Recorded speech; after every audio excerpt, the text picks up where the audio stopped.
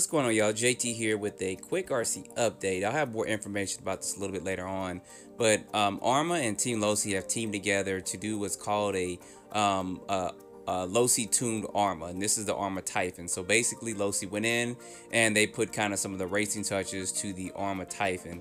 Uh, I'll have, like I said, more information about this later on, but they did do several things to make this um, handle a little bit better than the original Typhon. And I'm really curious to see how much better this handles. I can already tell by the way it looks, it probably is going to handle a lot better.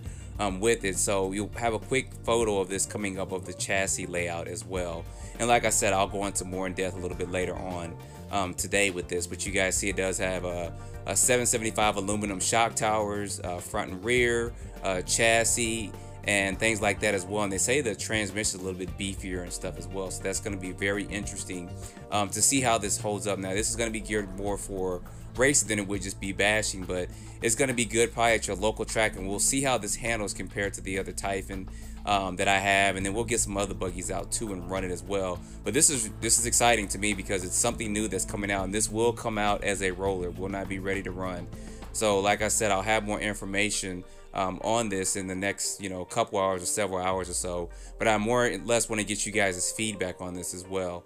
Um, price point and all that and everything for it. We'll talk about that uh, in the next video that I load up for this. But I want to at least show this to you guys, get some of your feedback on it. It's got a lot more features than I'm mentioning here in this video, but I at least want to get this out. So you guys put your comments down below. I do read them and I'm going to uh, check those out and then I'll have some more information up on this later today. So as always, don't forget to like, subscribe, and stay tuned for more videos. And this thing does look good, y'all.